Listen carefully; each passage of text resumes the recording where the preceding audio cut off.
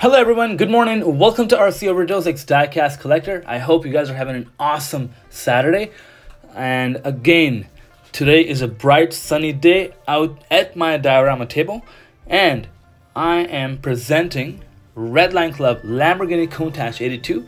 But this is a black edition, very rare and absolutely expensive, filthy expensive model. And it is a limited edition, 12,500 made worldwide.